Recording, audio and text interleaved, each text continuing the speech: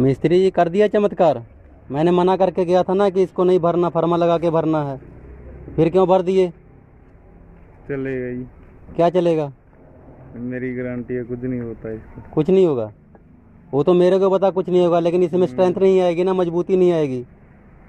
इसका जो पानी देखो सारा ईट चूस लेगा।